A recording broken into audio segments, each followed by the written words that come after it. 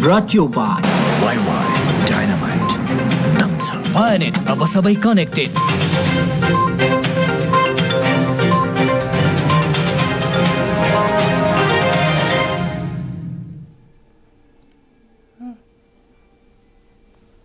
नमस्कार संक्षिप्त खबरमा यहाँलाई स्वागत छ। म कञ्चन थापा। सभामुख देवराज घिमिरेले छोटो समयमा नै संसदीय गतिविधि गतिविधिबाट नगरका समस्या समाधान गरी नेपालको संसदीय इतिहासमै शिक्षा दिने किसिमका भूमिका खेल्न सांसदहरूलाई आग्रह गर्नुभएको छ। बिहिबार संसद भवन नयाँ बानेश्वरमा आयोजित प्रतिनिधि सभाको सदस्यहरूका लागि दुई दिने अब अभिमुखीकरण कार्यक्रमलाई सम्बोधन गर्दै उहाँले यस्तो बताउनु भएको हो। उहाँले नागरिकका सदस्यहरूको चाड बढ्दै गएको गइरहेकाले नागरिकका समस्याहरूलाई समाधान गर्न संसदमा आफ्नो भूमिकालाई बलियो बनाउनु पर्ने बताउनु भएको छ। प्रधानमन्त्री पुष्पकमल दाहाल प्रचण्डले ललित ललित कलाको क्षेत्रमा भएको योगदान योगदानको राष्ट्रले सधैँ कदर गर्ने बताउनु भएको छ। बिहिबार आज ललित कला गुठी काठमाडौँको कार्यक्रमलाई सम्बोधन गर्दै उहाँले यस्तो बताउनु भएको हो। प्रधानमन्त्री प्रचण्डले ललित कला प्रतिष्ठानले ललित कलाको क्षेत्रमा नेपाललाई स्थापित र परिचित गर्ने काम गरेको बताउनु भएको छ।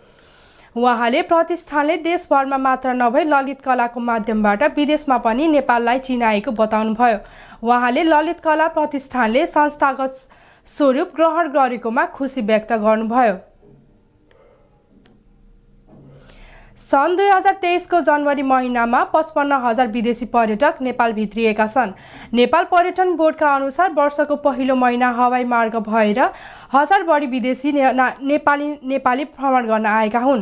पर्यटक आगमन उत्साहवर्धक रहेको बोर्डका निर्देशक मणिराज लामिछानेले बताउनु भएको छ।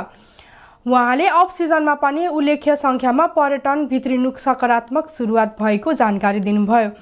जनवरीमा भारतबाट सोह्र हजार चार सय पर्यटक आएका छन्। अमेरिकाबाट छ हजार पाँच सय एकसठी पर्यटकले नेपाल भ्रमण गरेका छन्। म्यानमारको सैन्य सरकारले सङ्कटकालीन अवस्थालाई थप छ महिना बढाएको छ। देशको सङ्कटकालीन अवस्थालाई थप छ महिना लम्ब्याउने र राष्ट्रिय रक्षा तथा सुरक्षा परिषदले सहमत जनाएको चिनिया समाचार संस्था सिन्हुवाले जनाएको छ। सन् दुई हजार एक्काइसको फेब्रुअरीमा आङ सान सुकीको सरकार अपस अपसद्ध भएपछि म्यानमारमा सङ्कटकाल लागू भएको थियो।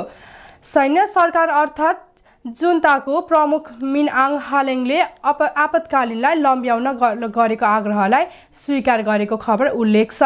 म्यानमारमा सन्याकुपछि जन्तु सरकार विरुद्ध देशभर भएको प्रदर्शनमा झन्डै दुई हजार सात सयले ज्यान गुमाएका छन् भने सयौँलाई पक्राउ गरी थुनामा राखिएको छ।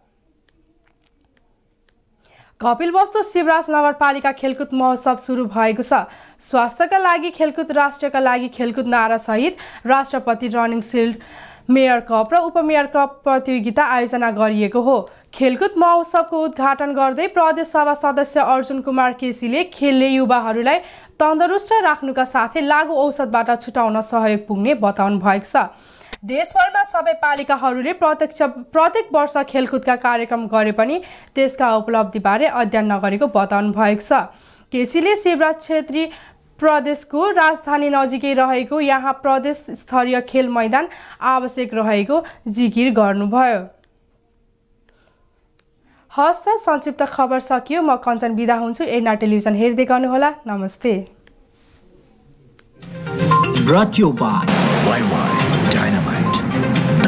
भएनेट अब सबै कनेक्टेड